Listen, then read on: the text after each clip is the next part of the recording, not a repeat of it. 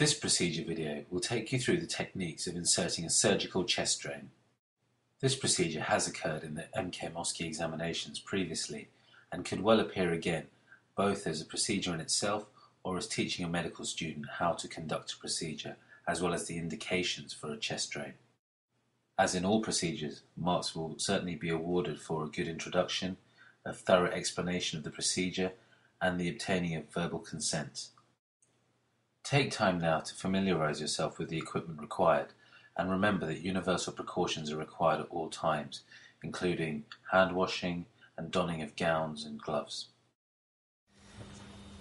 Right, so I'm going to insert the chest drain. So I'm going to first um, locate the, the site that I want to put it into, which is the uh, fourth or fifth intercostal space. And I can find the uh, fifth rib by feeling for the uh, sternal angle, finding the second rib, and then counting down and following that rib round. And the fifth rib is usually around about the level of the nipple. And I want to insert the drain just anterior to the mid axillary line. Let's say here. And clean the area with some antiseptic uh, cleaning solution. I'm going to clean a nice big area.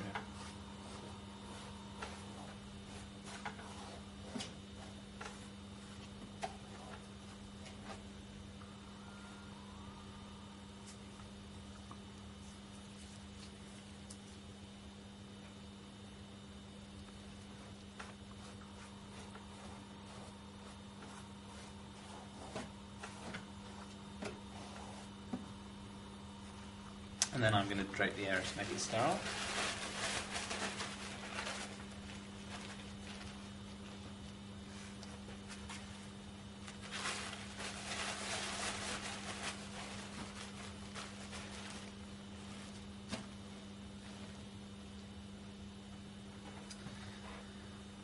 I'm going to infiltrate with some local anaesthetic.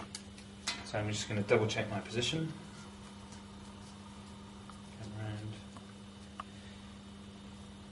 And then I'm going to insert the needle for the local anaesthetic.